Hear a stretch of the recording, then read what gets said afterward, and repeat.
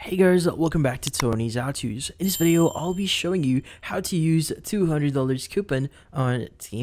But before we start, hurry up and check out the suffrages under this video. So let's get started. In this case, you might be wondering how to start using your coupons here in Temu. Well, using them is fairly easy. So the first thing you want to do here is you want to open up Temu and you want to log in into your account. Now in here, we want to go to the You tab at the very bottom and in here, we want to go ahead and click on coupons and offers. Now, in the coupons and offers section, you have three ways of viewing your coupons. So there are going to be different categories here for coupons. So we have our coupons and offers on for Temu. We have our coupons for specific items. Now, depending on the coupons that you have, you'll be able to leverage certain discounts. Now, in this case, coupons that is in the offer coupons for Temu, you could use this generally speaking to items that is available on Temu. So there's no restrictions for now. But for coupons that is available for specific items, you need to use this on specific items.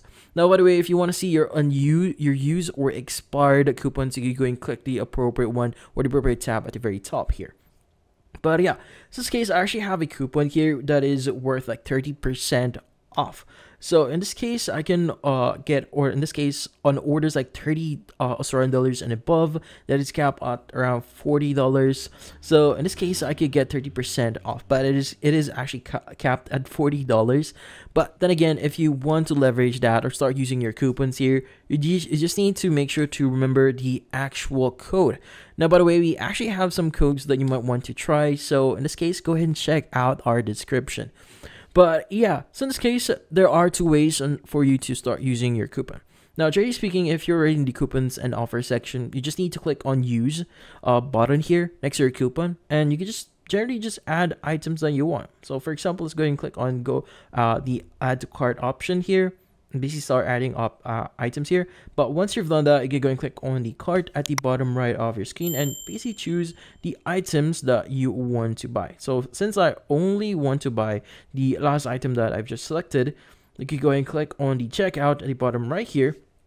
And from here, you can go and just start adding whatever details you need. Like for example, your address here, your payment methods, and also when you scroll down a bit here, you have the coupon section. So in this case, if you click on it, you have the option to change or choose your coupon.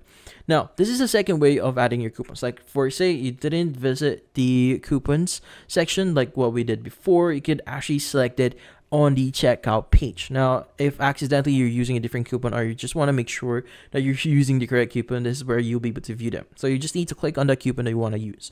Now, by the way, if you want to add a new coupon, you can go and click on enter coupon code here and hit on apply. So again, make sure to use our coupon here if you want. But yeah, so in this case, you can go ahead and start using that and click on submit order to go in this case confirm the purchase and once you've done that you should be able to start purchasing whatever you want here in Temu. So if you found this video helpful, hit the like and subscribe button and watch our next video.